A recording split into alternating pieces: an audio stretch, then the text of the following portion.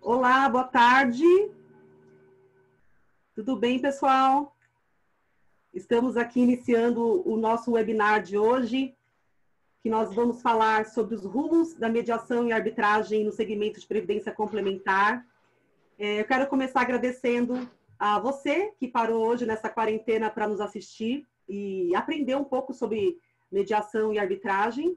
E também agradecer aos nossos palestrantes, é, pessoas do mais alto gabarito, que estão aqui para nos ensinar e também juntos trocarmos ideias sobre o que vem acontecendo no Brasil, sobre esse, esse tema, e aprendemos todos juntos aqui. Então, muito obrigada aos painelistas e a você que está nos assistindo.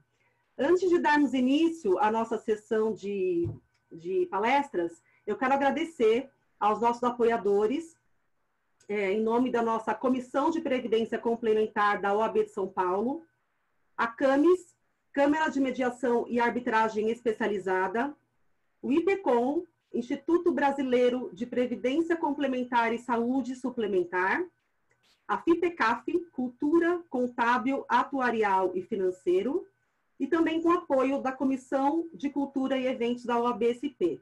É, não seria possível a realização desse webinar se não fosse o apoio de vocês. Então, muito obrigada a cada um. É, boa tarde a todos os palestrantes. Queiram abrir um pouquinho o áudio. Então, boa tarde para vocês todos. Boa tarde. Boa tarde, Boa tarde. Boa tarde. Boa tarde. Boa tarde. Nós teremos, então, cinco palestrantes, todos nesse, nessa, nesse tema né, de mediação e arbitragem. É um tema que vem ganhando bastante espaço e interesse é, hoje na nossa sociedade. E o que nós vamos tratar nesse webinar de hoje é o enfoque na resolução de, dos métodos alternativos né, de resolução de conflitos no nosso segmento de previdência aberta e fechada. Então, para dar início aos nossos, à nossa sessão né, de, de palestras e depois de debate, eu vou convidar os, o doutor Flávio Ferreira. Doutor Flávio, ele tem uma vasta experiência acadêmica ele é mestre e doutor em Direito e hoje ele coordena cursos de especialização em arbitragem. É, doutor Fábio, Fábio, doutor Olavo, ele vai falar sobre mediação e arbitragem no Brasil, vai dar um panorama para nós de como que esse tema vem se desenrolando no Brasil desde os primórdios até hoje, qual que é a evolução disso. Vai apresentar também as principais diferenças entre os métodos de resolução de conflitos e também as vantagens de cada um. Quem quiser fazer perguntas, por favor, use o chat, que está logo abaixo aqui da, do, da tela. Vocês podem fazer as perguntas, nós vamos tentando encaixar entre uma palestra e outra. Com a palavra, doutor Olavo. Obrigado, Elaine. É, eu quero agradecer o convite aí, me foi formulado pela querida Ana Paula. É, quero dizer que é um prazer estar com meus dois sócios, na verdade, os três, que eu também sou sócio da Ana Paula, na Camis, o Ronaldo e o Danilo, que me suportam e me toleram aí todo dia, quase 24 horas. Quero dizer que é um prazer aí conhecer o Fábio, o Lucas e também a doutora Elaine. É, o tema que me coube é, é a mediação e arbitragem no Brasil. Como todos aqui, a maioria devem ser advogados, dos 65 que nos assistem, nós não podemos esquecer que a maior reclamação, segundo a ouvidoria do CNJ hoje, é a celeridade da justiça, a falta de celeridade da justiça. Alguém, alguns autores falam da tragédia processual civil brasileira, é o que o juiz federal Eric Navarro Volcart, em sua tese de doutorado, aponta, em que ele trata a análise econômica do processo civil. A morosidade é lamentável, porque ela torna a situação dramática para as partes e para os advogados. Diante desse cenário, que na prática é uma tragédia, conforme diz o Eric Navarro Volcard, nós buscamos meios adequados para resolução de litígios. E aí nós temos os meios autocompositivos, a conciliação, a mediação, por exemplo, e heterocompositivos, no caso a arbitragem. Os autocompositivos, as partes entram aí em um consenso, ora estimuladas por um mediador ou um conciliador, e nos heterocompositivos, especificamente na arbitragem, há uma lide e ela é solucionada por um árbitro. Então, feita essa introdução, nós podemos então fixar algumas premissas. Primeiro, a tragédia processual civil brasileira existe, é a maior reclamação da ouvidoria do CNJ, e nós temos essas duas formas adequadas de solução de litígio. A mediação muito mais rápida, porque não há aí é, uma lide resolvida por uma terceira pessoa, e sim um mediador, trazendo elementos para as partes chegarem a algum acordo. E a arbitragem, aí sim, nós temos um procedimento, um terceiro resolvendo. A mediação é muito mais barata. Tanto que na CAMES nós recomendamos primeiro já tentar uma mediação, porque as pessoas resolvem mais rapidamente. Ocorre que alguns, em alguns litígios a animosidade está exaltada e a mediação não vai resolver a situação.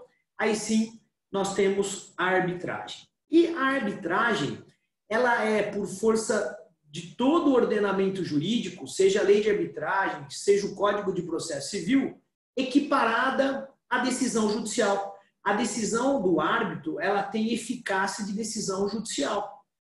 A lei de arbitragem diz que o árbitro é juiz de fato e de direito. Ela diz que a sentença arbitral é título executivo judicial e o CPC encampa essa mesma tese. Tanto que a execução da sentença arbitral se dá por cumprimento de sentença tal como a sentença judicial. Portanto, nós temos aí na arbitragem uma coisa julgada uma coisa julgada, inclusive decidida em instância única. E aí eu já começo a sem querer entrar nas vantagens da arbitragem, porque ela tem muitas. E dentro da arbitragem, a primeira vantagem é a celeridade. Ah, o processo arbitral, segundo a lei de arbitragem, dura seis meses. Ele pode ser dilatado por convenção das partes.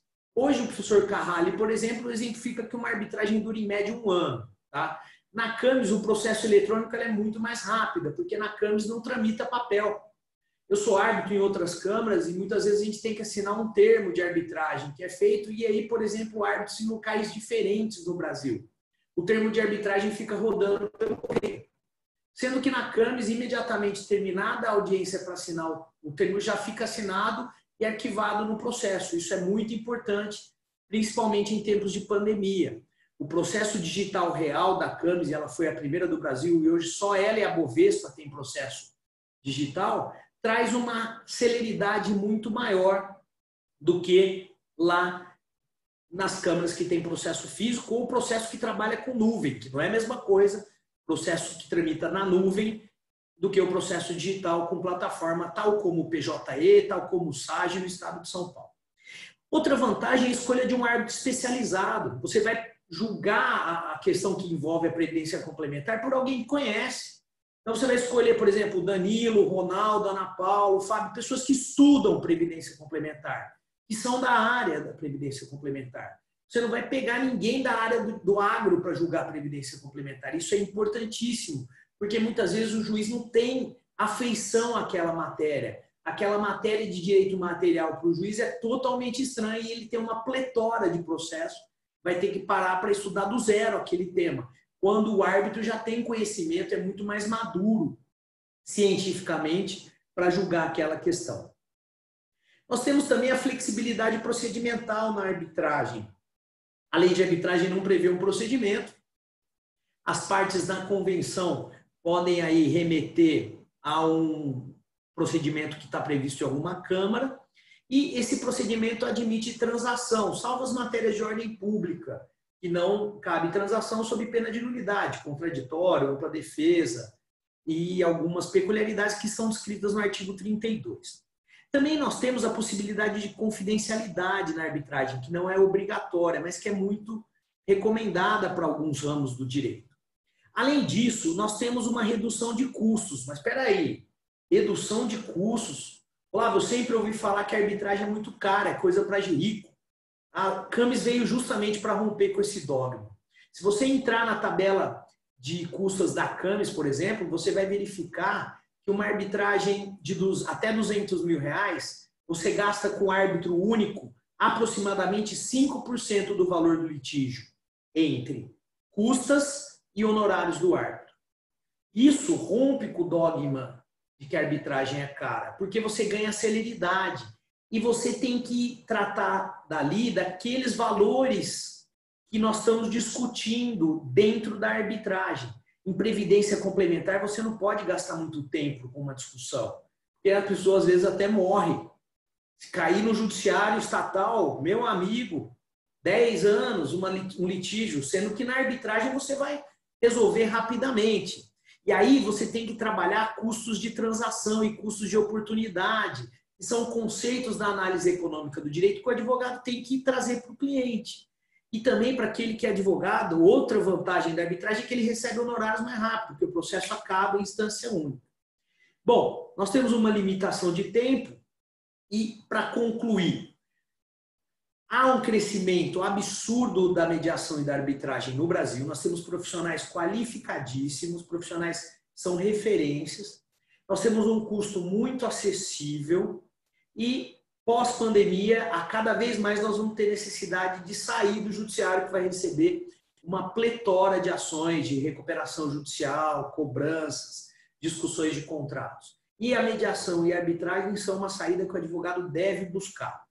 Aproveitar o ensejo na ESA de São Paulo, em breve nós teremos um curso de introdução à arbitragem, vocês vão ficar sabendo pelas redes sociais da Camis, tá? Para não me alongar muito no tema, que eu quero ouvir meus colegas, eu encerro por aqui e estou à disposição para perguntas. Muito obrigado. Obrigada, doutor Olavo. E, e para complementar, é, qual tem sido o maior interesse nos últimos tempos, até mesmo agora, é, nessa época de pandemia e o que, que você visualiza no pós-pandemia entre o interesse maior entre a mediação ou a arbitragem, diretamente? Eu sinto que a mediação, as pessoas estão mais conscientes que o litígio sai muito caro. Mas muitas vezes é, a resistência e o brasileiro tem uma cultura ainda de litígio. A arbitragem acaba também é, tendo repercussões. Nós tivemos alguns casos que resolvemos em mediação recente, mas alguns que não saiu e foi para arbitragem. Tá? É, infelizmente, depende muito das pessoas envolvidas e do tipo de litígio. A vantagem é que a arbitragem favorece o cumprimento das disposições contratuais e do que é razoável. Né? Como o árbitro conhece ali a matéria de direito, é, dificilmente algum tipo de subterfúgio de uma das partes vai ali ser resolvido. E não tem aquele fundamento que geralmente a outra parte que está errada usa. Ah, eu vou retardar o processo até. Na arbitragem não tem essa conversa. Então, uma cláusula escalonada, que tem modelo no nosso site da CAMES, que primeira fase é a mediação, não resolvendo na mediação, depois na arbitragem, é a mais adequada. O custo-benefício para as pessoas envolvidas é muito melhor. Tá, muito obrigada, doutor Olavo. E obrigada também pela dica do curso da ESA bem interessante até para os estudantes de direito, para os profissionais também que advogados, né, que tenham interesse em conhecer um pouco mais. É, obrigada pelas considerações. Seguindo, então, falando de Câmara de Arbitragem, nós agora vamos é, falar um pouquinho sobre a mediação e arbitragem, arbitragem no âmbito da Câmara de Mediação, Conciliação e Arbitragem da Previc, da CMCA. Para isso, nós convidamos o senhor Lucas, Fábio Lucas, e hoje ele é presidente da Câmara de Mediação é, da CMCA da Previc. Fábio? Boa tarde a todas e a todos. É um prazer enorme estar aqui, Elaine, com esse coro tão qualificado de palestrantes. Né? Gostaria de saudar a todos na pessoa do meu amigo Danilo, é, o qual trabalhou junto comigo lá na Previc. E se a CMCA da Previc hoje ela tem esse, esse reconhecimento aí público. É, muito se deve ao trabalho do Danilo quando esteve lá na Previc. Depois ele foi trabalhar no SUSEP né, e hoje está na Procuradoria Federal em, em Goiás, no estado de Goiás. É, a Câmara de Mediação e Arbitragem da Previc ela teve um, um, nascedor na própria lei 12.154 que criou, de 2009, que criou a Superintendência Nacional de Previdência Complementar, Previc. Lá tem um comando da lei é, que é dever da Previc promover a mediação, a conciliação e poderá também dirimir conflitos conforme a lei, a lei de arbitragem. É, recentemente saiu a, a, recentemente em 2015 saiu a Lei Geral de Mediação, a 13.140, e também essa lei no artigo 43, ela pede que a administração pública, se for possível, crie câmaras de arbitragem para é, possibilitar a conciliação dos seus regulados, seus administrados. Né? Então, em consonância com o artigo 43 da Lei 13.140 de 2015 e o artigo 2 da Lei 12.154, a Previc é, tem a sua Câmara de Mediação e Arbitragem. Inicialmente, ela foi criada em 2010, através da Instrução 7. Né? Eu não sei se o Danilo estava lá na Previc naquela época, mas provavelmente já estava chegando, né, Danilo? E aí ela tinha um, um, um, início ainda um pouco limitado. Ela tinha uma cobrança de custas e como a Previc ela pode cuidar de casos muito pequenos, conciliações cujo valor econômico é muito pequeno, aquele valor de custa é, e era um valor igual, ele não variava conforme uma percentagem, era um valor absoluto, muitas vezes não havia o interesse de ir para a Câmara. Outra limitação que havia como a Previc é um órgão de fiscalização, é, os fiscalizados tinham medo de levar um, uma, uma lide ou um conflito para a Previc e ter um entendimento interno no sentido de um processo sancionador ou que aquilo vazasse dentro da autarquia e, e tivesse consequências na área de fiscalização. Né? Sempre houve essa preocupação. Em 2014, houve uma nova instrução, a instrução 10, que retirou essa cobrança de custas, tornando a CMCA um trabalho gratuito, voluntário. Os seus árbitros, que são procuradores da Previc e advogados, contadores, atuários é, renomados do sistema, né, todos trabalham de forma voluntária e gratuita, sendo um serviço público relevante. Isso aí. E a partir dali, quando eu cheguei em 2014 na Previc, o Danilo me falou que estava muito, muito engessada, não, não deslanchava a CMCA.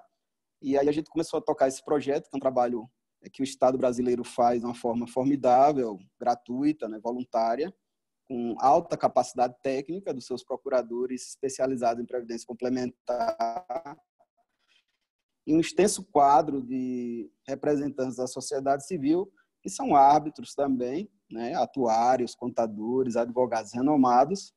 E com Danilo, a CMCA começou a ter uma desenvoltura bem maior. Em 2014, 2015, né, ele tocou ali, junto com Manuel Dantas, hoje está aposentado comigo. E a CMCA começou a virar uma realidade. Né? A gente começou a divulgar através de palestras, que a gente não tem verba para divulgação, nem marketing, jamais, né? A gente não trabalha com isso. Né? Como eu falei, eu acho que o ambiente, o professor Olavo falou, o ambiente de conciliação e mediação, ele é um ambiente democrático e onde é, a liberdade de contratar a mediação, a Câmara específica, faz parte dessa autonomia da vontade, né? A não ser que o contrato expressamente o diga, e ainda assim pode ser entendida como uma cláusula passiva de transação, se as partes concordarem, não estão naquelas de ordem pública. Então, a gente tem essa cultura de liberdade de escolha da sua Câmara. Então, a gente não induz a que ninguém procure a CMCA, mas atualmente temos muitos casos lá na CMCA. Né? Temos algumas arbitragens e algumas centenas de mediações é, feitas lá. Vamos explicar como é que funciona a Câmara de Mediação e Arbitragem da Previc.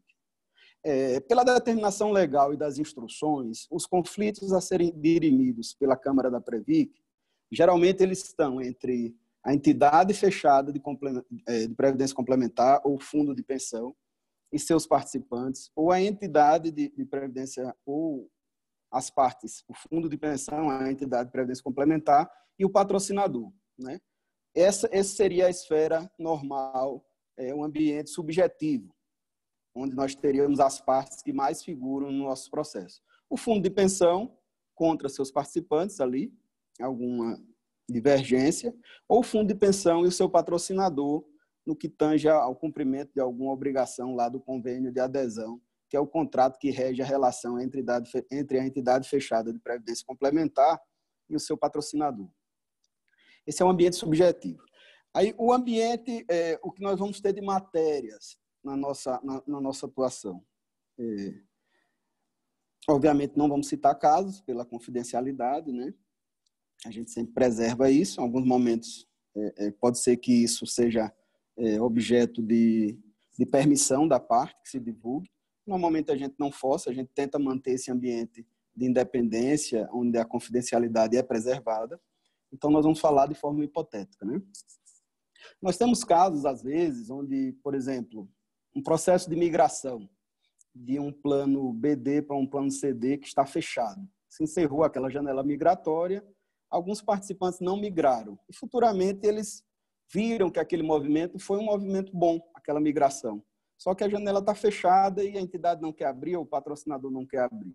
Né? Então, pode ser que isso venha para uma discussão. Isso é um direito patrimonial disponível, é um direito disponível, né, para que se tente mediar a reabertura dessa janela migratória, é, trazendo oxigenação aí aos, aos novos planos, né, fomentando esse, essa perenidade, essa flexibilidade que os planos de previdência têm que ter, né, não sejam tão engessados assim.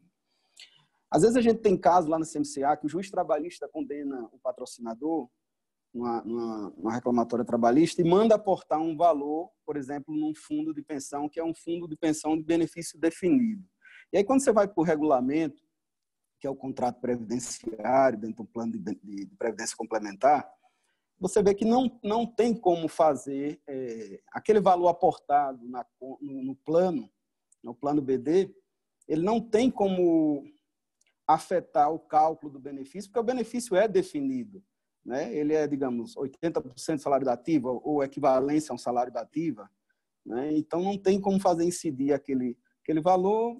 Muitas vezes o fundo de pensão não tem como devolver aquele valor porque tem uma sentença, o condenando fica com medo de devolver e aquele valor fica retido lá na, na conta da, da entidade de previdência privada sem que o participante possa sacá-lo. E a gente tem esse tipo de, de conflito e tem uma alta resolução lá dentro da Previc. Obviamente não são tantas entidades, hoje em dia nós temos poucos planos BDs abertos, acho que a grande maioria está fechado, os planos BD, tem uma massa considerável ainda assim de planos BD, mas é, é um pouco limitado, mas é um caso que aparece. Né? A mediação também pode se dar por um conflito de eleição, alguma discussão entre representantes participantes e os representantes patrocinadores do fundo de pensão, e que também pode ser mediado através da Previx. Não seria um direito patrimonial, mas seria um, um direito passível de alguma mediação, sempre visando é, o cumprimento da regulação. E esse é um, um tema polêmico que eu e Danilo sempre discutimos nas palestras. Né? Claro que o ambiente de mediação é um ambiente de direito privado, só que como na previdência complementar fechada você tem uma alta regulação estatal, ocorrem algumas limitações nessa nessa negociação, ainda mais quando essa negociação se dá no ambiente do órgão de supervisão, que é a Previc. Né?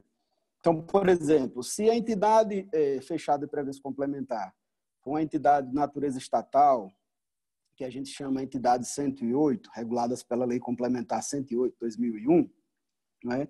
A gente tem uma limitação nessa negociação, que é a paridade. O patrocinador público não vai poder é, avançar numa mediação se, a, se, o objeto da mediação ele descumprir o, a paridade contributiva. Ou seja, o mesmo esforço financeiro que o participante fará, o patrocinador está limitado àquele esforço é, paritariamente. Então, não é possível é, ultrapassar isso. Isso é uma das limitações da nossa regulação, é, dentre outras situações.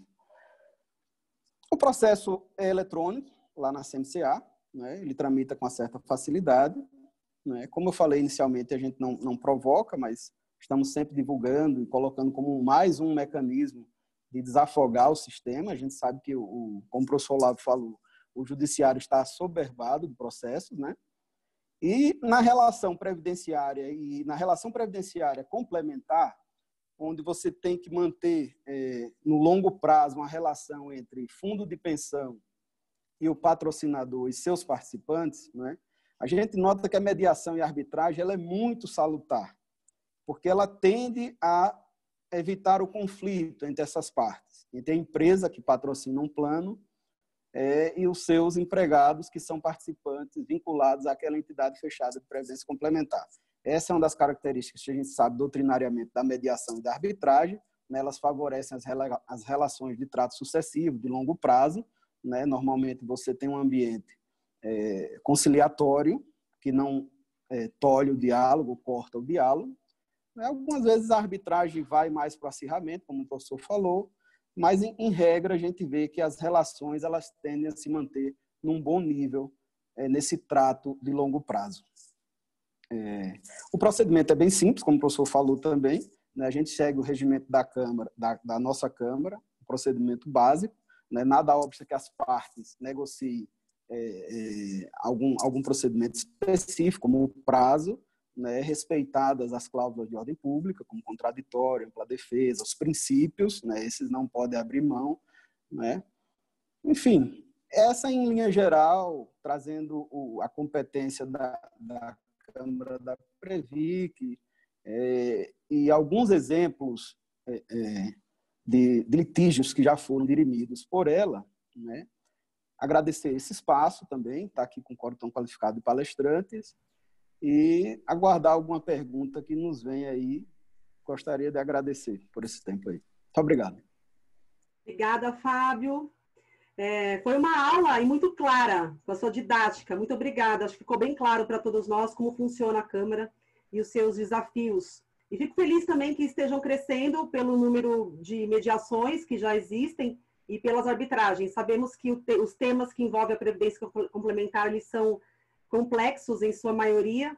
Então eu imagino aí que tem um bom caminho aí como alternativa de resolução de conflitos ao judiciário. E nós temos, sim, é, uma, duas perguntinhas para você, é, do participante Oldemar Freitas. Uma delas é o seguinte, na mesma linha do que você acabou de dizer, né? Deixa eu até buscar aqui. Ele, ele questiona o seguinte: é possível instaurar a mediação, a conciliação ou a arbitragem de que trata o regulamento da Previc, na hipótese de o conflito se referir a fatos que estejam sendo discutidos em processos de fiscalização ou já submetidos ao licenciamento prévio? É, Aldemar Freitas. Aldemar Freitas. Boa tarde, Aldemar. Obrigado pela pergunta. Muito boa sua pergunta. Uma pergunta polêmica. Pode a CMCA atuar num caso onde já há um processo objeto de fiscalização ou um processo em prévio licenciamento na diretoria de licenciamento da Previc?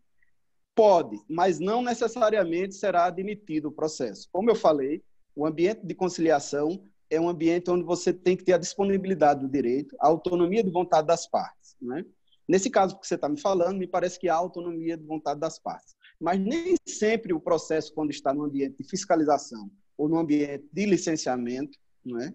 todos englobam o processo de supervisão da Previc, nem sempre esse objeto do processo conforme a sua pergunta, é passível de disponibilidade. Então, por exemplo, como eu falei anteriormente, se o processo de fiscalização estiver tratando de um problema de descumprimento de paridade nas entidades fechadas 108, esse processo não poderá ser objeto de, de mediação, a não ser que a mediação seja para que se atenda justamente à paridade. Né? Do contrário, se o procedimento de fiscalização vise alguma recomendação é, prudencial, no sentido eleitoral, de governança, e vocês queiram melhorar esse processo qualificando, aí a gente, embora não é um direito patrimonial, isso pode ser discutido numa mesa de mediação para aprimoramento da, do, dos mecanismos de controle. Né? Tudo, tudo a gente visa, em previdência complementar, a formação de reservas para pagar o benefício. Para isso, precisa de uma governança. Se se quiser sentar na mesa de negociação para se evoluir esse processo, é positivo. E na diretoria de licenciamento, se o processo estiver lá e houver um conflito naquele licenciamento, entre, por exemplo, o que pretende a entidade, isso pode sim, entendeu? desde que também não fira diretamente uma resolução do CNPC, por exemplo desde que isso esteja no ambiente de direito patrimonial disponível, isso pode sim vir a CMCA. Eu não sei se respondi a sua pergunta, é possível sim, mas nem em todos os casos isso será possível. Até porque antes de instaurar, a gente faz uma consulta às diretorias se ela tem algo a apontar em relação àquela, àquele objeto de conciliação. Então, é isso aí. Tá. Obrigada, Fábio. É, só mais um complemento do mesmo participante, que ele questiona o seguinte, ele quer saber se o entendimento dele está correto, né? Que ele colocou aqui, ó, com relação à competência da autarquia, da Previc, para dirimir litígios, ele entende ser possível instaurar procedimentos arbitrais por iniciativa de outros interessados, é, como, por exemplo, agências reguladoras, associações, órgãos estatais, bem assim referentes a quaisquer litígios privados, desde que estejam no âmbito de competência da Previc. Ele quer entender, ele quer, ele pergunta se está correto o entendimento dele. Então, Odemar, a sua pergunta também é muito boa, bem polêmica também. É, a competência é, da CMCA, ela basicamente está entre litígios do fundo de pensão com o seu patrocinador, ou do fundo de pensão com os seus participantes assistidos, ou entre essas três, essas três figuras, que são os três principais atores é, na relação de previdência complementar. Né? Agora, eu tenho entendimento que qualquer ator, qualquer agente, por exemplo, um gestor de fundo de investimento, é, que tenha um conflito com o fundo de pensão ou, ou com os participantes e seja possível resolver esse conflito, é, e aí nós vamos estar na esfera do direito patrimonial, muitas vezes. Né? Eu entendo que isso é possível, porque quando você quer proteger, por exemplo, o ativo que está lá sob gestão daquele gestor de investimento, né? você, no fundo, no fundo, você está defendendo a reserva que pagará o benefício dos participantes. Então, há o interesse dos participantes também na solução desse litígio, bem como do próprio fundo de pensão, porque se for um caso de um, plano BD, um plano CV, se, esse, se, esse, se esses valores não forem recuperados, né, possivelmente, se você se não tiver eh, outros ativos com rentabilidade muito alta, você vai ter que fazer um equacionamento de déficit. Então, isso aí implica no, no interesse direto dos, dos, participantes. Por isso que eu acho que outros atores podem sim, via a mediação da Câmara da Previc, é, mas repetindo, há uma certa limitação subjetiva nesse aspecto. Né? não é tão aberto assim como você colocou na sua pergunta, se agentes reguladores e outros atores do mercado poderiam é, adentrar a CMCA. Obviamente que não. A matéria, a temática tem que ser de previdência complementar né, e relacionada à atividade da Previc. Né? A gente não pode trazer uma matéria, por exemplo, que não se refira à previdência complementar para a CMCA. Embora seja um órgão público a Previc, obviamente a gente não tem competência para dirimir uma matéria que seja por exemplo, de, de atinente a outra agência reguladora. Perfeito, Fábio. O participante agradeceu e disse que você respondeu, então muito obrigada tá, pela didática e pela disponibilidade aí nas, nas respostas. Vamos dar andamento agora, abrindo um pouco mais o nosso cenário com o, Fábio, com o Ronaldo Galo. Ronaldo, ele é mestre em Direito Previdenciário, ele é procurador federal atuante na Superintendência Nacional de Seguros Privados. Ele acabou recentemente de lançar um livro sobre arbitragem na Previdência Complementar. E o Ronaldo vai falar um pouquinho é, nessa correlação entre entidades de previdência, é, a mediação e a arbitragem. Ronaldo, bem-vindo.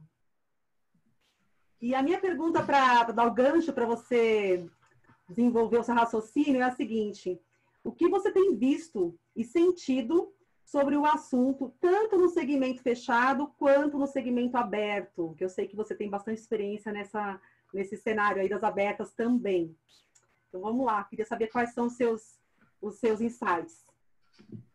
Tenho visto muito menos do que eu gostaria, Elaine. Boa tarde, Elaine, Fábio, Ana Paula, Danilo, Olavo, queridos amigos, um prazer dividir esse painel com vocês, pessoas, enfim, que dispensam apresentação, é, enfim, queridos amigos importantes.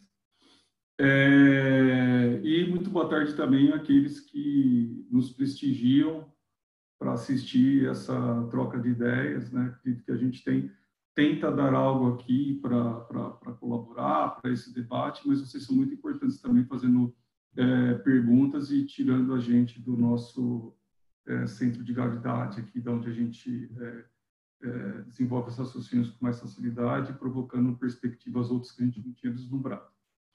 Então, Elaine, como eu estava dizendo a você e todos os nossos amigos, eu tenho visto muito menos do que eu gostaria. Né? Fazendo uma contextualização inicial, que eu penso que é importante, sempre faço esse tipo de contextualização quando falo de mediação e arbitragem, a gente tem que observar que já de algum tempo a gente tem um sistema de justiça no Brasil que não diz respeito só ao Poder Judiciário, como não diz respeito só à mediação e arbitragem, que é que a gente está falando aqui.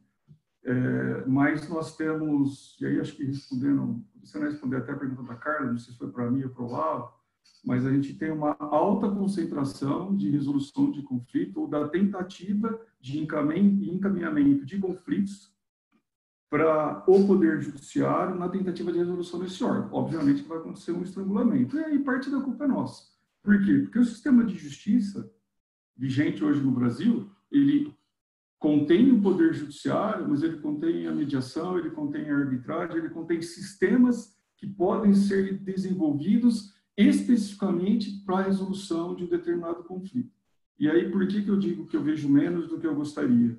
Porque hoje eu acho que a gente deveria estar falando de, do sistema de justiça e de formas de resolução de conflito de como nós podemos criar sistemas de resolução de conflitos, especialmente o que está por vir, que deve ser uma avalanche de conflitos por conta da pandemia que nós estamos vivenciando. Então, é, eu diria que nós estamos dois passos atrás, porque a gente ainda está discutindo de arbitragem, e eu não estou falando que falar de arbitragem na previdência privada não é importante. Eu escrevi um livro sobre isso, então eu acho que a segunda edição do meu livro não vai ser previdência privada e resolução de conflitos. Continua sendo previdência privada e arbitragem. Mas a arbitragem é um dos caminhos, dos vários, que existem dentro desse sistema de resolução de conflitos. Então, a gente tem o Poder Judiciário, que é o órgão estatal de resolução. O que nós estamos falando aqui é como resolver conflitos especificamente como resolver conflitos no âmbito da previdência privada, que tem uma perspectiva, uma conotação importantíssima, quer no que o Fábio já trouxe, quer no que o Olavo já trouxe. A que o Fábio trouxe foi, esse é um sistema, sistema de seguridade, a gente puxa de previdência privada, que ele foi desenvolvido pelo Constituinte brasileiro para gerar segurança. E o que nós não vamos ter, e agora eu puxo o gancho do Olavo, é segurança num conflito que vai ser debatido por 10 anos e que pode piorar. E eu vou exemplificar um pouquinho mais à frente. Então, a contextualização inicial é que a gente tem um sistema de é, resolução de disputas consideravelmente amplo, é o, o Tribunal Multiportas, para exemplificar, e a gente insiste em utilizar uma porta. E aqui a gente quer jogar tudo nessa porta, que é o Poder Judiciário. O que significa dizer que os conflitos vão ficar entalados nessa porta e vai ter um monte de porta aberta e à disposição é, que podem significar numa metodologia de resolução de conflitos muito melhor do que a porta do Poder Judiciário. Eu estou falando que a, a, a, metodologia de resolução privada, arbitragem, mediação, é melhor que a do Poder Judiciário? Eu não estou dizendo isso. Eu estou dizendo que todos compõem o sistema de justiça brasileiro, todos têm como objetivo instrumentalizar, né? o processo é isso, é instrumentalizar, é ampliar o acesso de justiça para uma resolução justa e a gente só usa uma porta. Qual é melhor, qual é pior? Me diz qual é o seu conflito, que aí a gente vai conseguir é, aquilatar. Então, a minha preocupação hoje é que tudo isso que eu estou falando seria algo que já me deixaria incomodado se a gente tivesse antes do início da pandemia. Então, a gente continuar nessa fase, em plena pandemia, e o que vai surgir pós-pandemia. Por quê? Porque nós teremos muitos conflitos pós-pandemia. Em outras áreas, mas também na área da previdência complementar. E esses conflitos, eles não vão ser resolvidos da forma binária que nós, como nós tratamos. Aliás, nem binária, uma forma, uma forma é, singular, Poder Judiciário. Agora a gente já está abrindo arbitragem, mediação, mas será que é, um sistema de resolução de, de conflitos não seria melhor? Eu vou exemplificar com um caso prático. A gente tem planos mais antigos que é, se comprometiam com uma rentabilidade alta, tendo em vista a Selic que nós contávamos na época. Esses planos eles vão ter dificuldades consideráveis para manter essa é, dificuldade, essa rentabilidade, com uma Selic de 3%. O que acontece é que é, já há uma perspectiva desse, dessas entidades para dizer, talvez eu não consiga honrar, e há uma outra perspectiva que é dos participantes, mas como você não consegue honrar? Ah, não, é que a taxa Selic caiu em demasia. Ah, você não pensou nisso? Numa perspectiva tão longa como são os planos de benefícios? Muito bem. Se nós resolvermos isso no judiciário, primeiro tempo vai destruir o plano. Se nós decidirmos isso na arbitragem, muito provavelmente uma solução impositiva, que certamente resolverá o problema, talvez não resolverá o problema que mantém esse plano de pé. O que eu estou querendo dizer é que se nós abrirmos o leque, por exemplo, para esse caso específico, que é um caso que eu ando refletindo muito, a mediação seria uma medida interessante.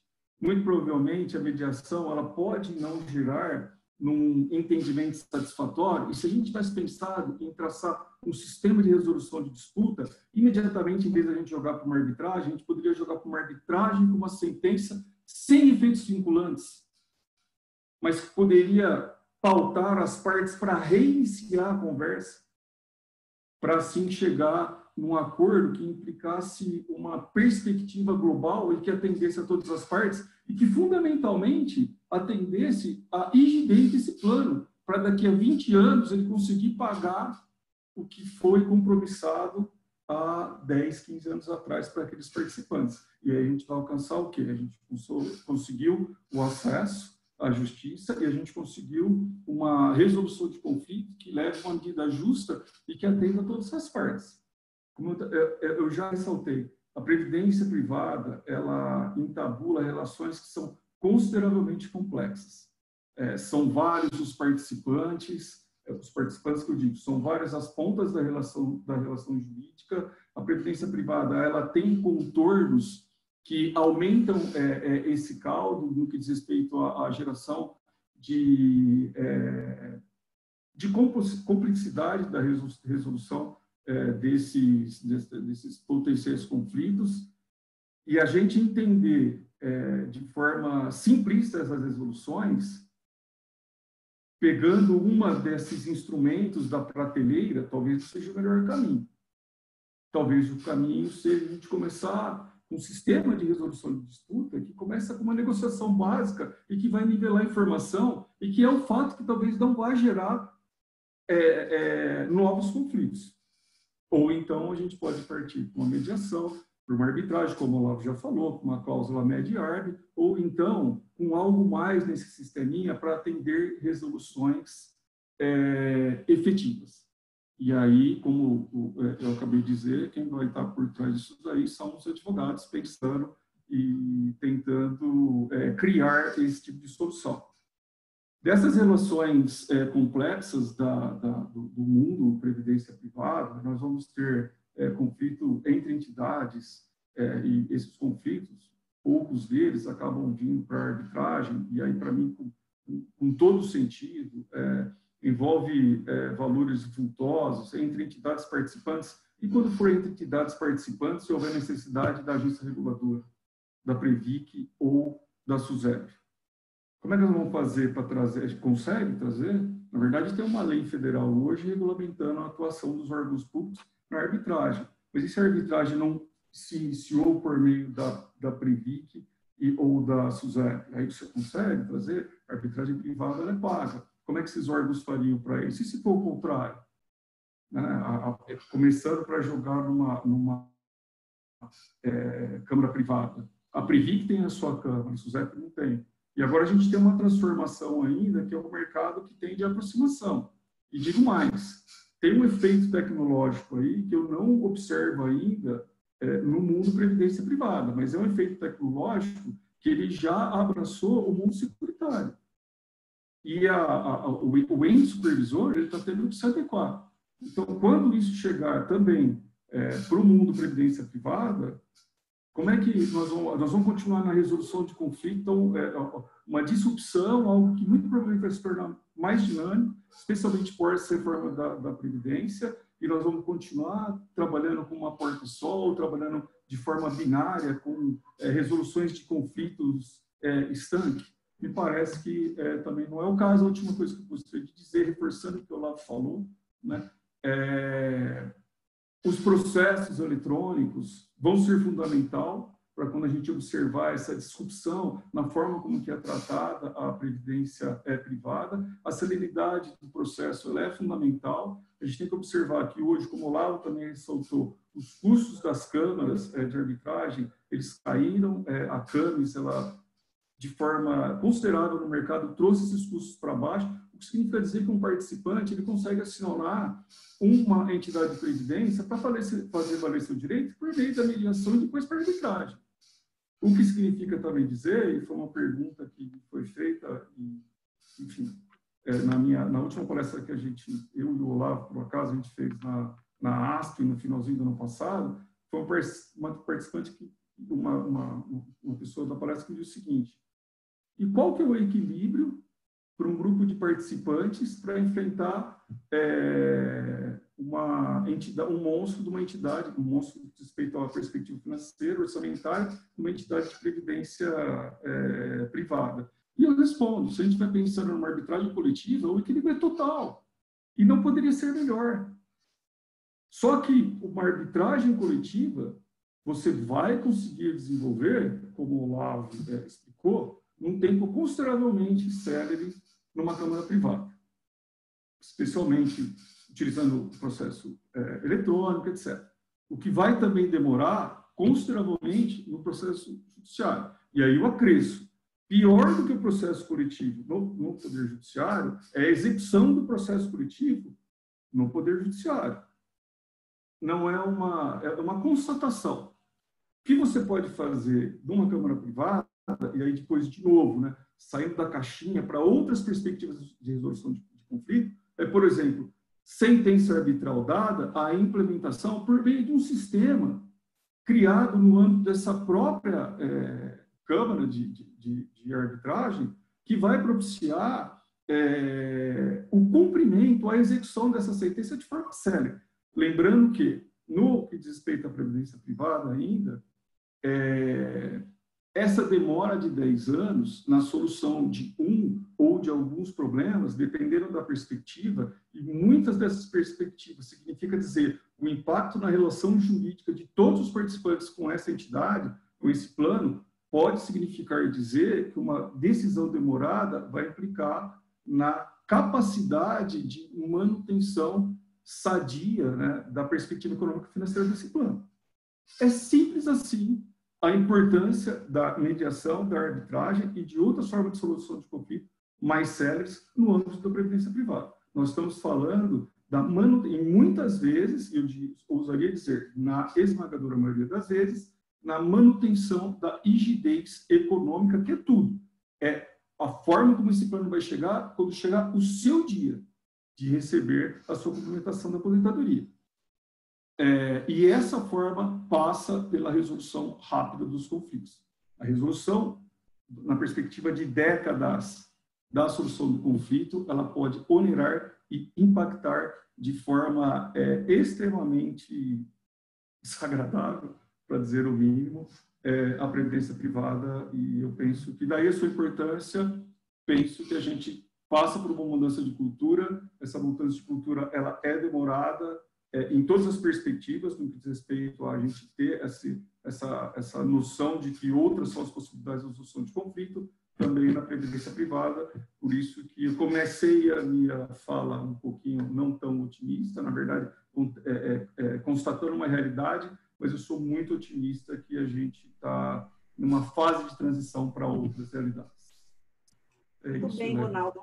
E é isso mesmo tem que ser otimista mesmo. Nós estamos plantando, né? Já melhorou bastante é, do passado para cá, mas tem um longo caminho pela frente. Acredito que tem espaço também. Parabéns pela sua apresentação. Tem um, uma até uma expressão que uma participante usou aqui, a Vanessa Capua, que ela falou o seguinte: é necessário abrir, abrir é, multiportas são necessárias. E é isso, né?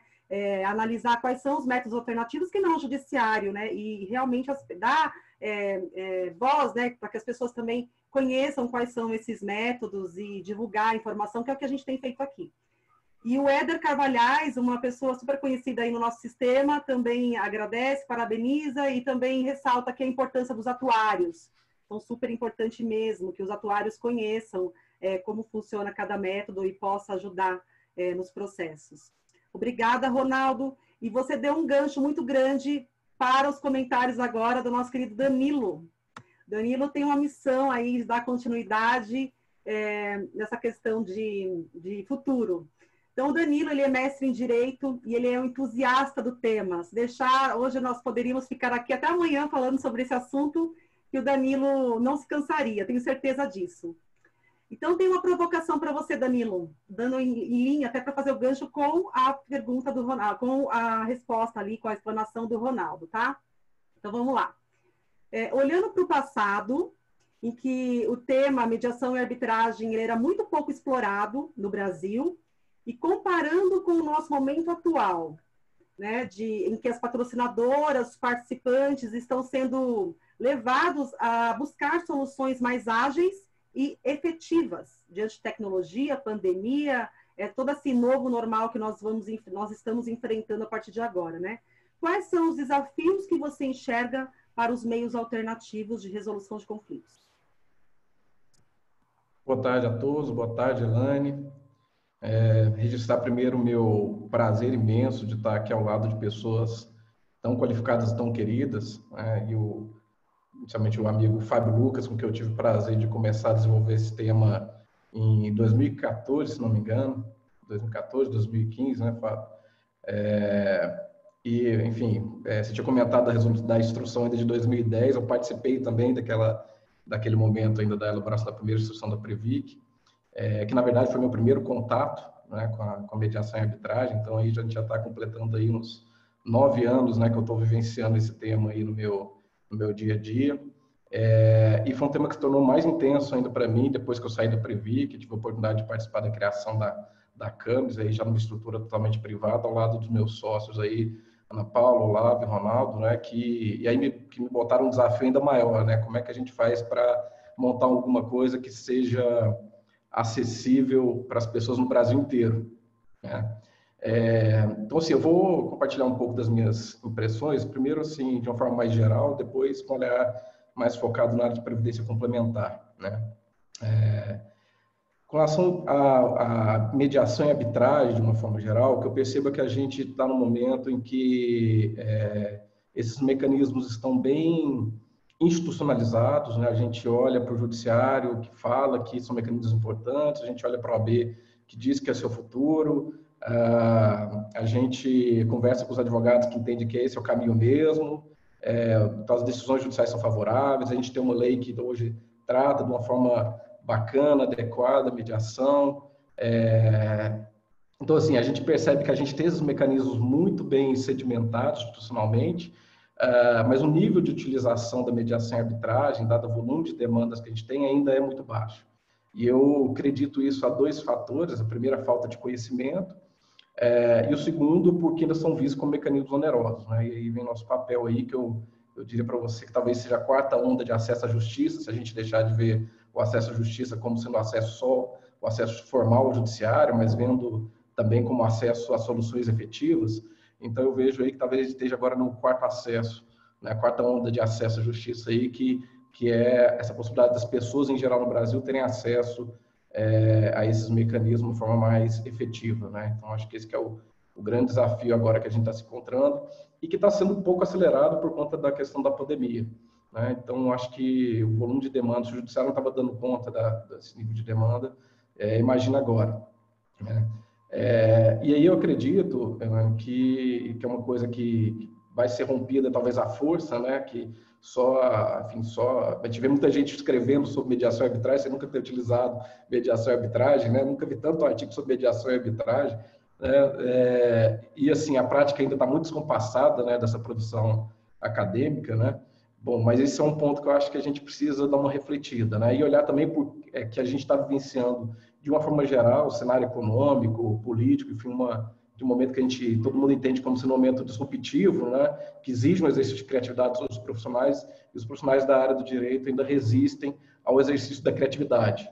Né? E quando eu falo criatividade, é, talvez não seja só mediação e arbitragem, porque mediação e arbitragem está falando de uma coisa que é, uma, sei lá, vamos olhar para o cenário dos Estados Unidos, pelo menos desde 1976 já se fala em tribunal ou sistema multiportas, né? Então a gente fala como se fosse uma grande novidade, né? Então eu diria que é uma, é uma velha novidade, né? Que a gente está tá conversando aqui agora.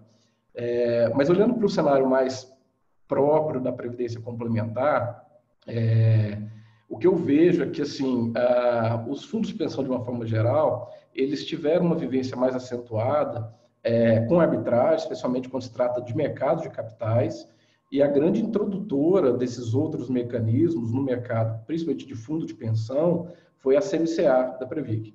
Embora eu veja que exista ainda alguma crítica à, à existência de uma cama privada dentro de um ente público, é, eu vejo isso com uma perspectiva muito positiva. Primeiro, porque eu acho que a gente só vai conseguir romper culturalmente com essa visão de que o judiciário é o único caminho se a gente realmente abrir é, os olhos e permitir que seja exercida essa criatividade, esses arranjos institucionais, inclusive entes públicos, né, para desenvolver tanto essa cultura dentro dos órgãos públicos, é, quanto no próprio sistema, que ainda olha para esses entes estatais como se fosse o pai ajudando o filho a atravessar a rua.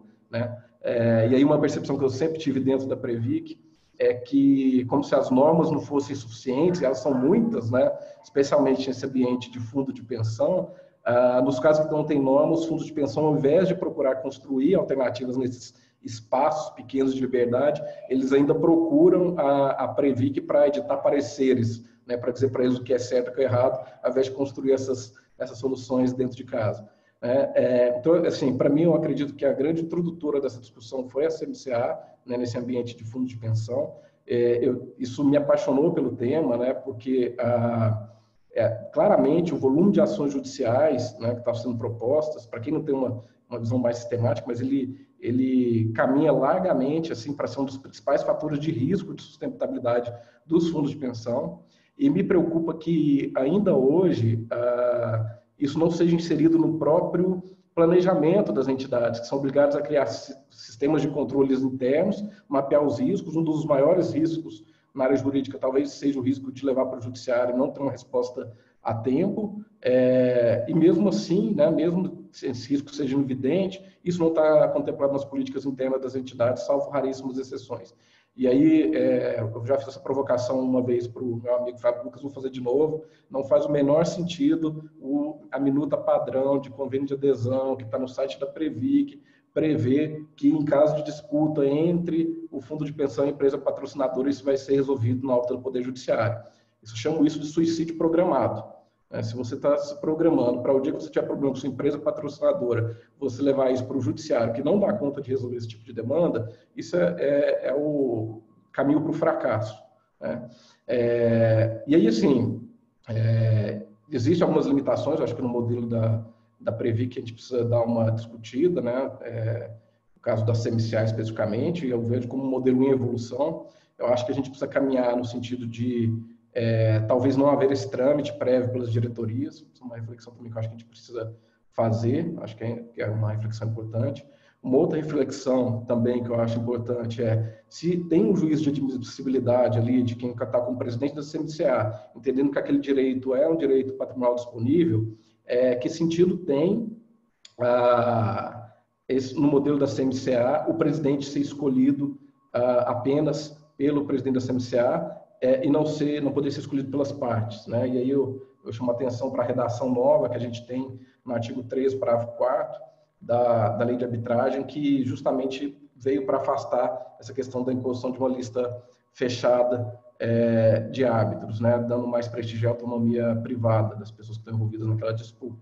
É. Então, acho que são aspectos que a gente precisa é, refletir um pouco mais. E um aspecto que já não se aplica não só, acho que a CMCA, mas também nossa experiência é, mediação e arbitragem fora da, da Câmara, para mim é um grande desafio, é tentar definir esse conceito de direito patrimonial disponível dentro uh, do ambiente de previdência complementar, desse alto nível de regulação. Já vi algumas pessoas colocando, por exemplo, que o direito acumulado seria um direito indisponível. Eu acho que essa é uma visão é, equivocada, porque é, é, um direito nitidamente patrimonial e, efetivamente, se você exclui com essa visão qualquer possibilidade de haver uma composição entre os participantes e a entidade fechada no sentido de procurar construir uma solução que seja mais adequada. Eu acho essa visão de que só o órgão regulador e o fiscalizador é capaz de achar a melhor opção, eu acho que isso é muito equivocado, especialmente quando ele tem um, uma, um regime privado aí que a Constituição crava como, é, como sendo é, um espaço para exercício privilegiado da liberdade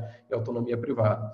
É, e para fechar, é, eu diria o seguinte: eu, arbitragem dá mais dinheiro, mas eu sou apaixonado mesmo é na mediação. Né? E, então, para mim, é sempre uma grande frustração quando eu deparo com determinadas situações, que eu vejo que são situações passíveis de, de composição, de, enfim, de, de trazer as pessoas para a mesa, levantar outras opções, eu vejo que as pessoas ainda não conseguiram dar o devido valor para mediação, inclusive é, na órbita da previdência complementar.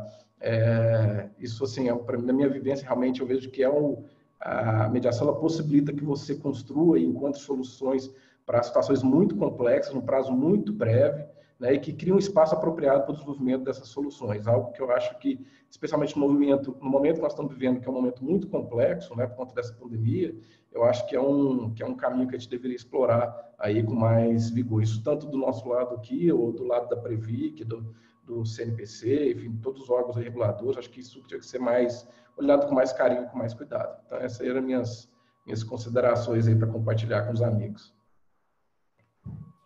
Danilo, como que você enxerga esse cenário todo em um curto espaço de tempo, cinco anos?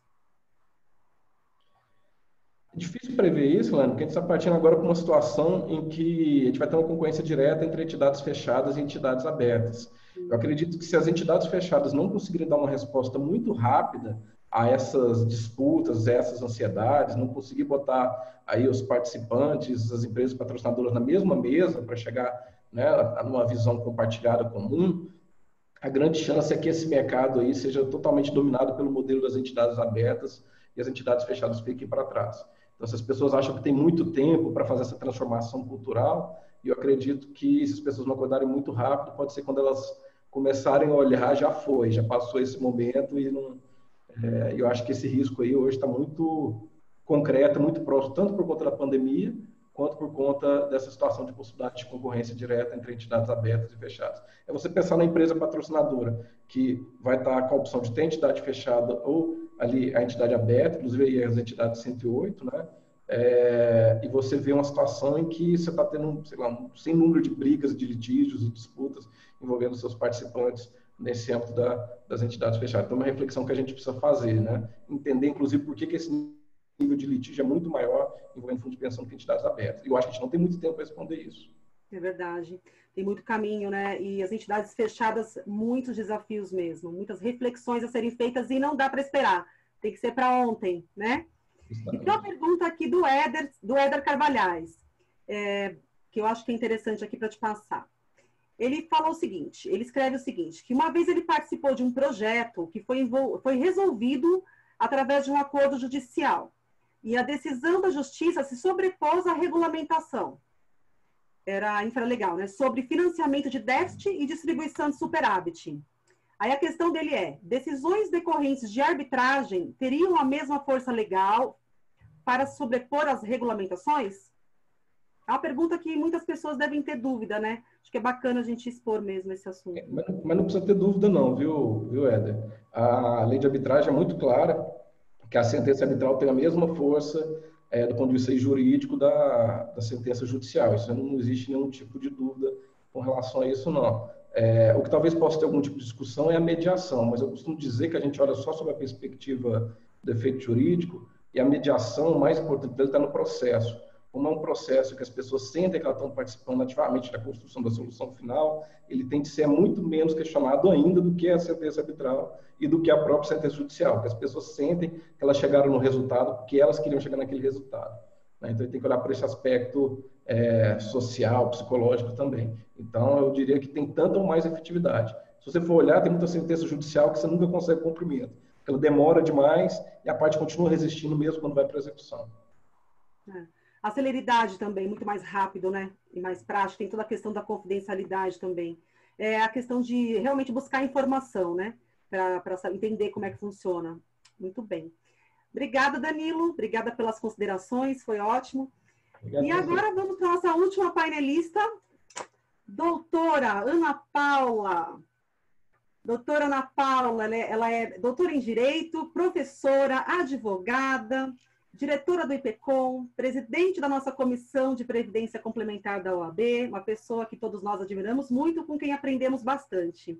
E a Ana Paula hoje ela vai fechar, vai, o último painel ficou para ela, para falar um pouco sobre qual é o reflexo disso tudo diante das dificuldades, né, das, dos conflitos que nós vamos ter, provavelmente, em decorrência da Lei Geral de Proteção de Dados, um assunto também que dá pano para manga aqui para falar mais mais um webinar inteiro. E, e como que você entende, Ana, de que esse sistema, como é que você entende que o sistema de previdência complementar, ele pode enfrentar esses conflitos, levando em consideração a mediação e a arbitragem, e também se você entende viável a adesão a, das, das entidades desse sistema à ODR, envolvendo as resoluções de disputas online. Pode abrir o seu microfone aí.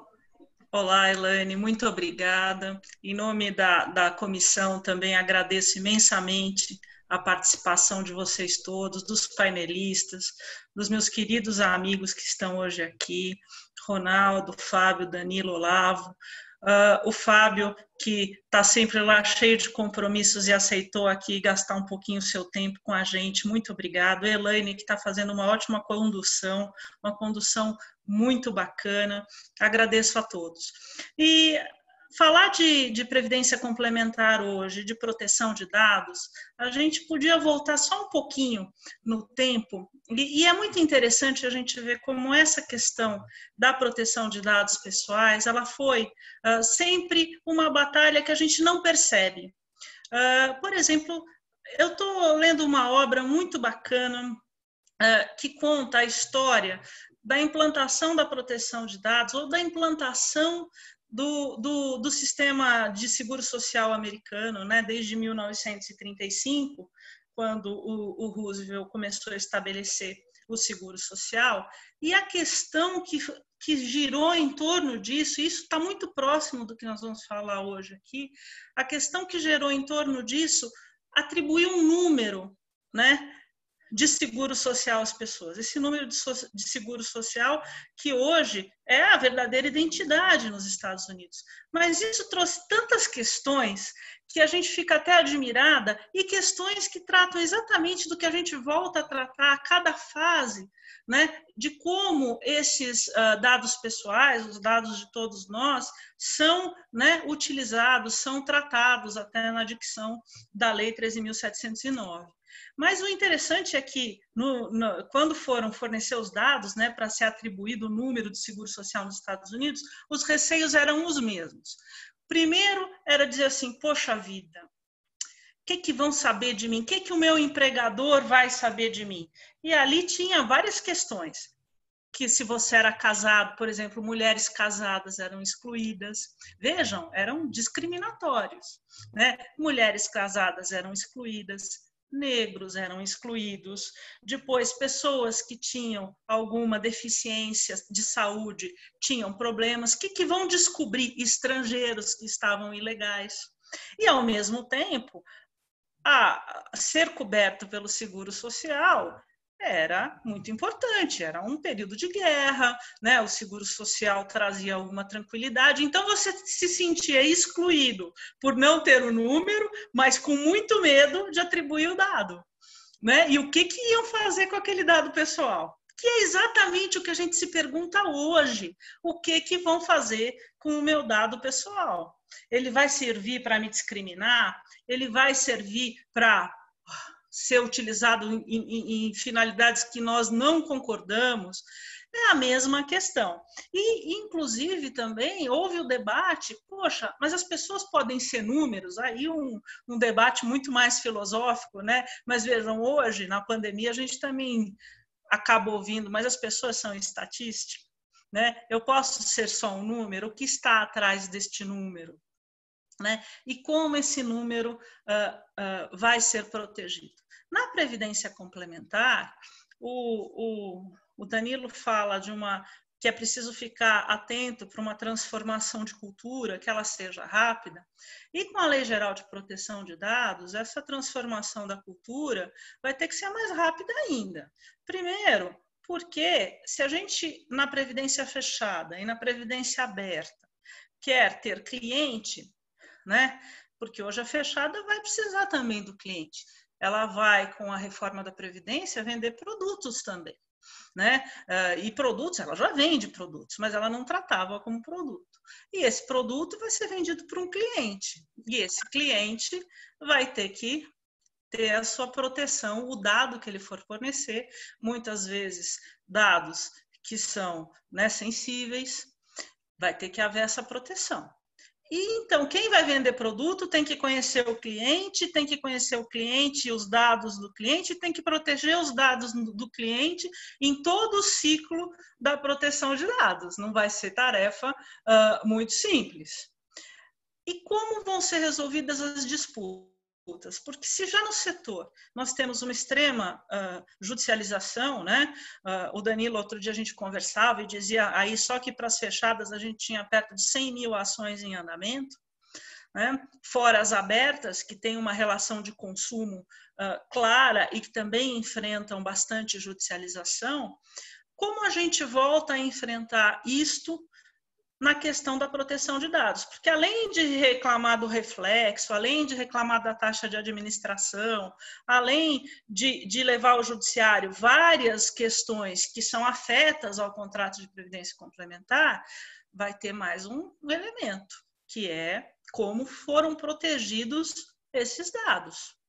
Bom, uma tendência mundial para essas relações que são equiparadas na legislação europeia e na legislação americana, a relação de consumo, é utilizar o método de, de, de resolução de disputa online, né?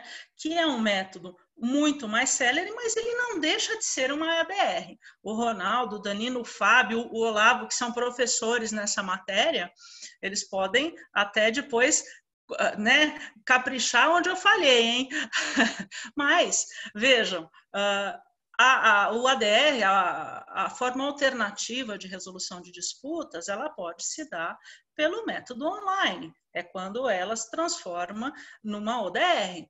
E quando eu tenho uma ODR, ela é uma tendência para o consumo. Uma vez eu, logo quando saiu a LGPD, eu liguei para o Ronaldo e falei assim: Ronaldo, olha, a gente precisa falar tudo sobre a ODR. Ele falou assim: calma aí, Ana.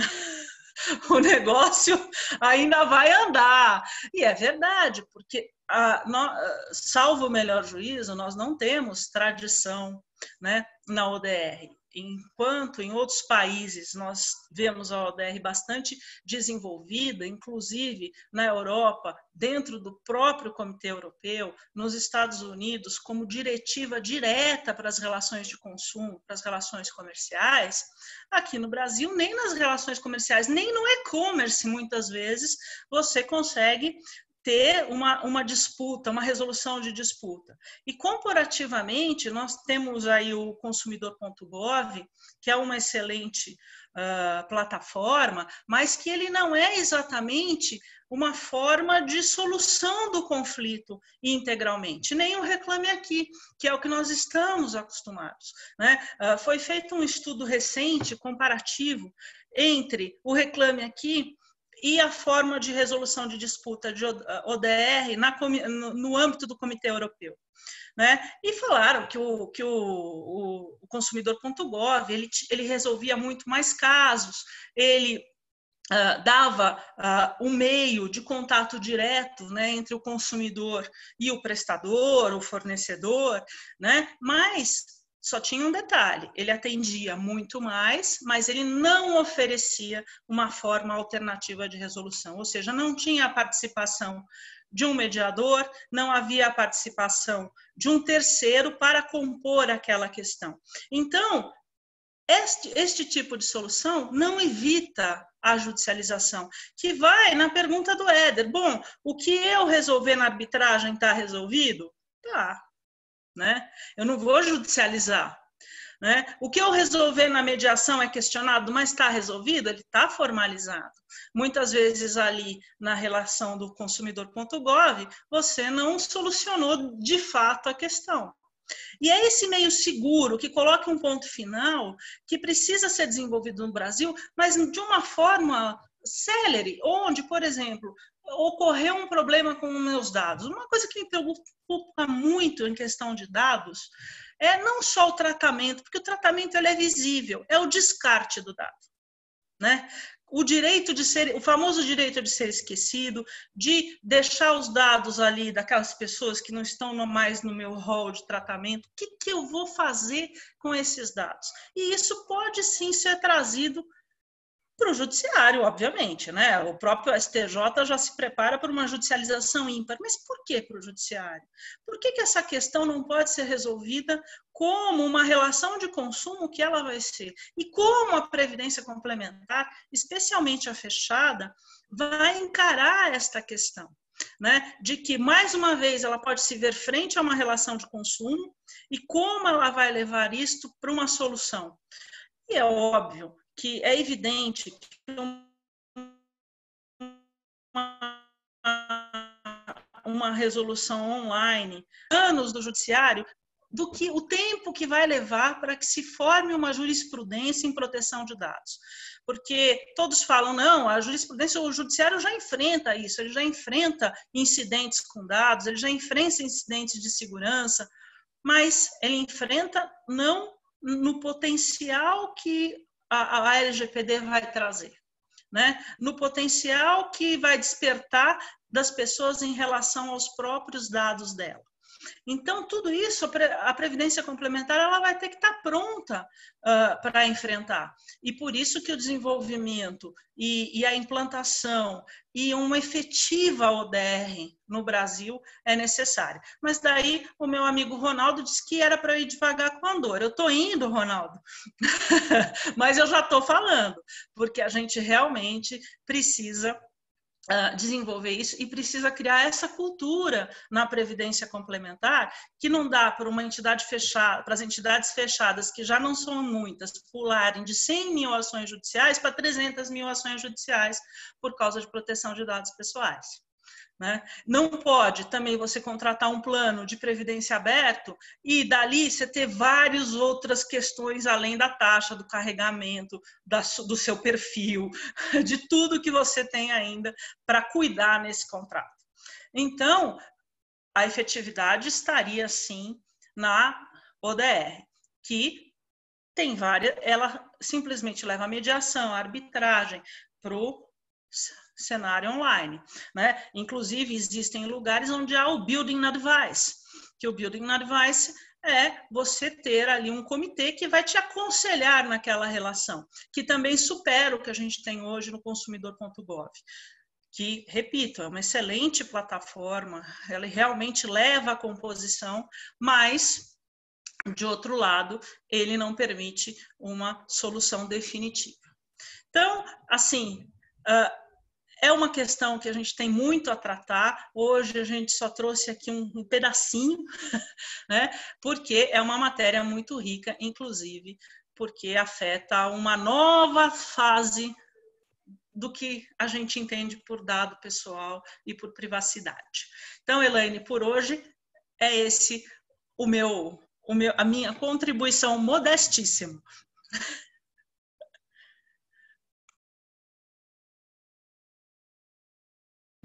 está no mute.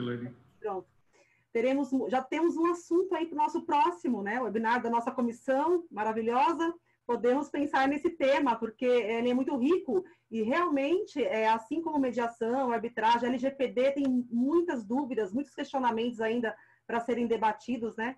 Então tem, é um campo muito rico para discussão mesmo e debate e para socializar aí com toda a comunidade, né? Muito bacana, Ana, muito obrigada. É, deixa eu, eu começar a encaminhar agora para as considerações finais.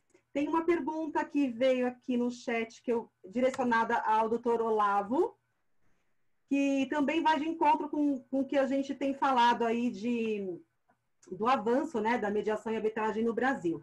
A pergunta é de Carla Mendonça Ferreira. Ela pergunta o seguinte: Doutor Olavo, por que no Brasil ainda há tanta resistência em fazer conciliação e arbitragem? A que, se, a que se deve o fato dos advogados preferirem tanto litigar? Se deve ao fato dos honorários? Pergunta dela. Perfeito. É, Carla, é, é uma questão cultural, né? É, infelizmente, a mediação e a arbitragem ainda são desconhecidas por grande parte da população jurídica. Né? Os, próprios, os próprios advogados não sabem diferenciar, às vezes, mediação de arbitragem. Ah, no Conselho Federal da AB, nós temos uma comissão especial que tenta fazer um trabalho de divulgação de arbitragem. Eu tenho o prazer de ser membro. e algumas iniciativas já foram tomadas. Hoje, a arbitragem ingressa no projeto pedagógico obrigatório, a mediação também do curso de Direito. É, há uma tentativa também da inclusão de questões no exame da ordem. Então, os advogados é, preferem, são criados para litigar, né? Sendo que, na prática, o advogado tem como trabalho resolver problemas e deixar o cliente mais feliz. Sendo que na mediação e na arbitragem o custo é muito menor e a decisão vem muito mais rápida, às vezes até o acordo na mediação. Portanto, acho que eu entendo que é uma questão cultural. O advogado tem muito aquela aquele perfil no Brasil de briga, né, de contencioso e vou vamos para a corte, eu vou te processar, acabar com o seu patrimônio, quando na prática é um desgaste terrível, um tempo imenso e que não, não resolve. Direito sucessório, então, devia ser obrigatório mediação e arbitragem. As partes ficam litigando lá nos inventários, ficam 10, 15, 30, 40 anos. Tem um amigo meu que publicou um livro pela Saraiva, o Paulo Lucena de Menezes coordenou junto com uma colega, Acontece nas Melhores Famílias. Só sobre briga de herança. Então, assim, é uma cultura terrível e o judiciário não tem como dar conta. Gastamos uma parte considerável do PIB com o judiciário e acredito que em matéria de direitos patrimoniais disponíveis vai ser a tendência a excluir, é, impor uma mediação e uma arbitragem obrigatória, porque nós não estamos dando conta e deixar o judiciário para direitos indisponíveis, matéria penal. Acho que esse é o futuro, sem nenhuma pretensão de exercer atividade futurólogo aí. É, é a cultura mesmo para ser desenvolvida, né? Muito obrigada, doutor Olavo. E tem mais uma pergunta, a última pergunta para o Fábio, doutor Fábio. A pergunta é a seguinte, da, do Luiz, Vamos lá. Antônio, Luiz Antônio Muniz Machado. Ele pergunta o seguinte: é possível instaurar um processo de mediação na CMCA, já existindo um processo judicial entre patrocinador e entidade de previdência fechada? Eu acredito que sim. A gente tem casos onde o judiciário até é, sugestiona as partes que, se for possível a conciliação, procure. Não vejo nenhum problema nisso, não. Desde que as partes é, é, tenham é, convergência em adotar essa medida, eu acho que isso aí, e o objeto da ação seja patrimonial disponível, está na mesma esfera aí de, de abrangência aí. Né? O próprio judiciário tem fases conciliatórias ali de mediação. Né? Legal. Obrigada, Fábio. Nós respondemos a maioria das perguntas que recebemos. Se tiver alguma pergunta que a gente não tenha recebido, é, já tentar direcionar da melhor forma possível. E vamos fazer agora o nosso bate-bola final. Acho que podemos começar por você, Fábio. É, um insight, as suas considerações finais.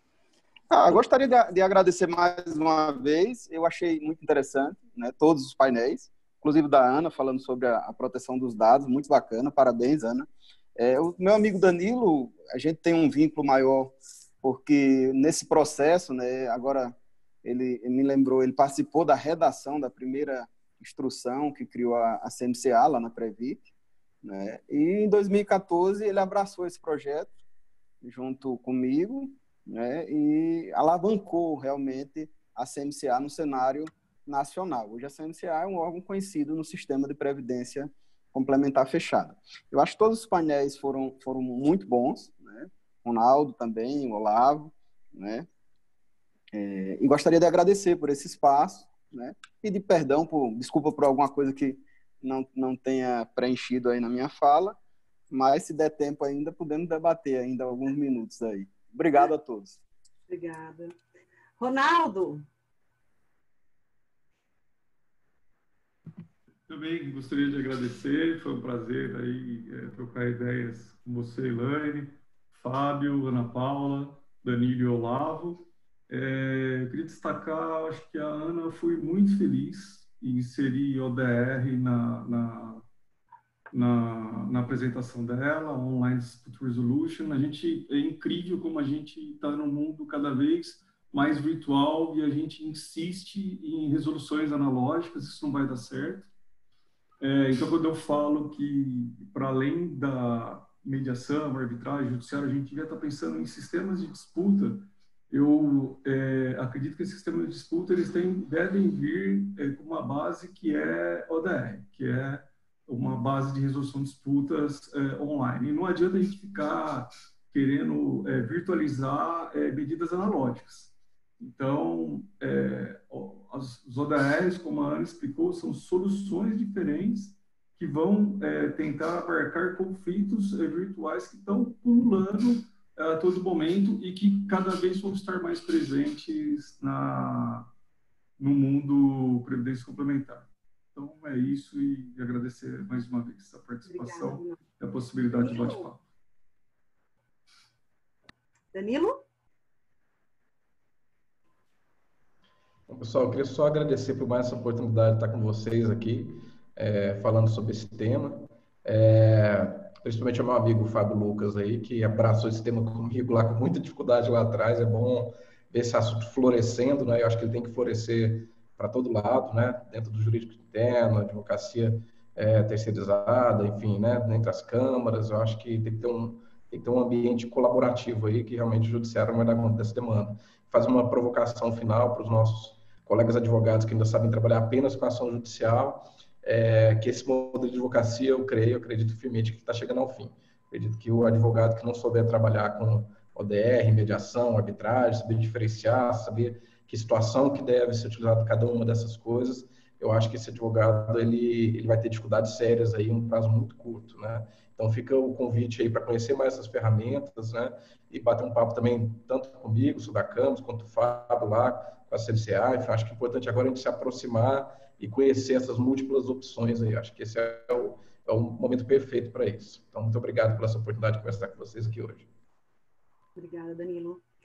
Doutor Olavo, Quero agradecer, dizer que foi um momento de muito aprendizado. Eu adorei as palestras dos colegas. Infelizmente, fui indelicado.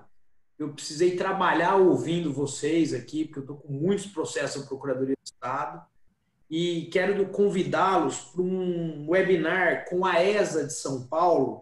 Já vai estar disponível no Instagram da Camis sobre resolução de conflitos online. E eu serei o mediador junto com Ricardo Dalmaso Marques Carlos Butori e Eric Navarro Volcart, que são grandes autoridades no Brasil e no caso do Carlos, trazendo a experiência do Moldria, que é a plataforma de negociação do IBE, a maior plataforma do mundo, dia 30 de junho às 19 horas. Maiores informações no meu Instagram, Lava Ferreira, ou no Instagram da Camis sobre esse webinar. Muito obrigado aí, fico muito feliz com a presença de todos e aprendi muito com meus colegas. Obrigado. Obrigada. Ana? Bom, eu aqui, Elaine, eu sou café pequeno, sou café com leite. Porque eu, eu fui criada, e bem criada, assim, há bastante tempo criada, no contencioso violento judicial. Então, aquela briga sem fim, né? E depois que eu me aproximei desse grupo, é que eu comecei a enxergar o outro lado né? Parece que eu tive uma visão, mas não é. Eu comecei a estudar, a entender. Começou justamente. vou até narrar isso porque é muito bacana. Eu conheci o Danilo e o Fábio Lucas na Abrap, numa reunião da Abrap. E foi lá que a gente começou a conversar sobre CMCA, começou a conversar sobre CNPJ por plano.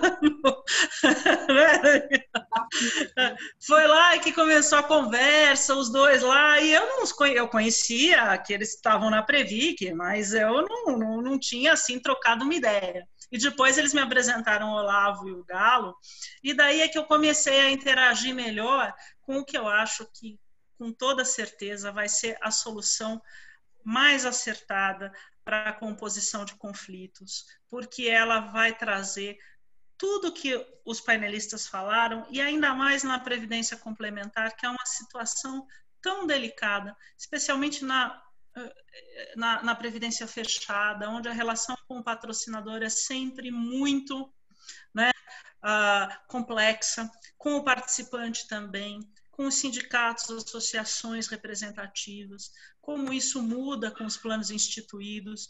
Então, essa questão, ah, eu acho que ela é talhada, a previdência complementar, como também a proteção de dados pessoais, ela é talhada para as formas alternativas de resolução de conflito. Né? Por isso que eu tenho, aprendi muito, mas ainda não passei de ano, Elaine. Quero agradecer. Estou tentando passar de ano, mas tenho medo de levar bomba, você não imagina. mas a, agradeço muito, mais uma vez, aqui em nome da comissão. Uh, foi um excelente evento, como não poderia deixar de ser, e sempre agradeço, acima de tudo, o tempo das pessoas. Né? Obrigada às pessoas que hoje estiveram conosco, muitos estiveram e as perguntas foram ótimas. Precisamos repetir o debate. Abraço a todos. Obrigada. E é isso, gente. E para mim foi uma honra mediar esse evento, realmente com pessoas que eu admiro e respeito muito, pessoas que conheço de, do sistema, né, que, que o sistema de previdência complementar me deu.